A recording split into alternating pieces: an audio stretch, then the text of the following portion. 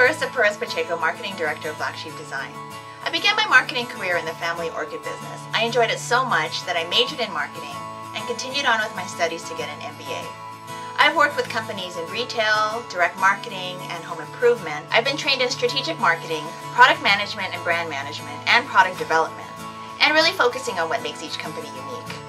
I'm always excited to apply the skills that I've learned to client projects to help them achieve their goals. Let's help you too.